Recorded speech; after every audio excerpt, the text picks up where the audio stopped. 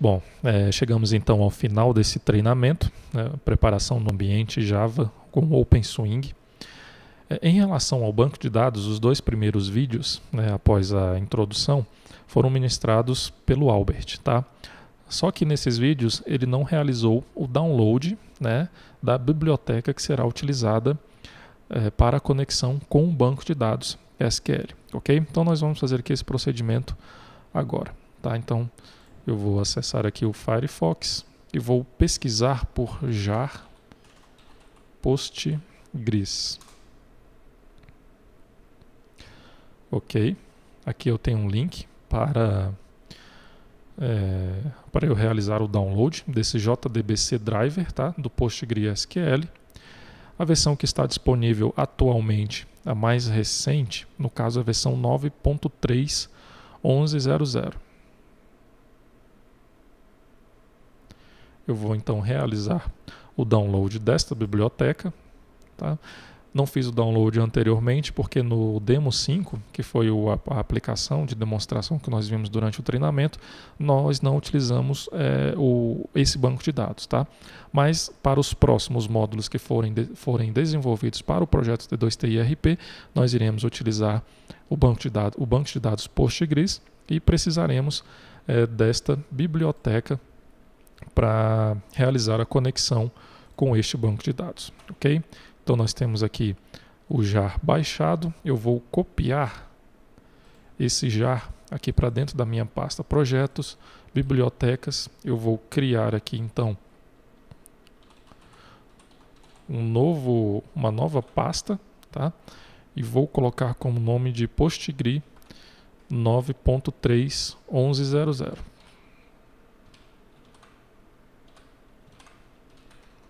Isso aqui para a gente identificar é, qual a versão é, do jar que nós estamos utilizando. Ok? Apesar que no caso do PostGre, como ele é apenas um arquivo e essa informação já está no jar, eu vou fazer o seguinte. Vou deixar somente lá no próprio arquivo jar. Ok? Bom, no momento nós não vamos utilizar essa biblioteca. Tá? Então, no próximo módulo, quando nós formos iniciar a aplicação é, do projeto 2TI RP 2.0 com o OpenSwing, nós vamos utilizar esse jar para realizar a conexão com o banco. ok? É, outra biblioteca também que nós precisamos realizar o download, no caso é do Hibernate. Tá? Nós iremos também utilizar o Hibernate, então nós já vamos deixar aqui o ambiente já é, com essa biblioteca já preparada para que nós possamos utilizar. Tá? Então eu vou aqui em Hibernate ORM. A versão que eu tenho disponível aqui, a última versão é a 4.3.1. Então eu vou fazer o download desta versão.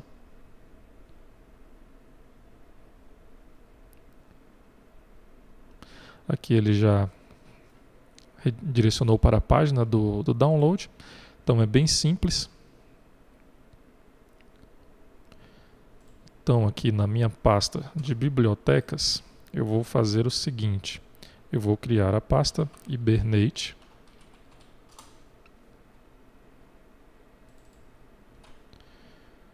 Aqui no caso é a versão 4.3.1. Eu vou criar aqui então uma nova pasta.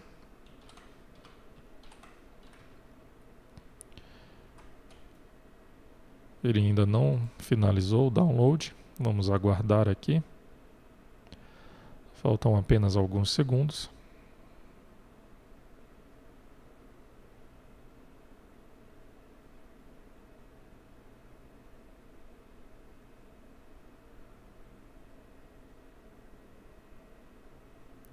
Ok, finalizou. Vamos aqui copiar esta biblioteca. Então, projetos, bibliotecas, Hibernate. Ok, e agora eu vou realizar, eu vou descompactar esses arquivos aqui. Tá?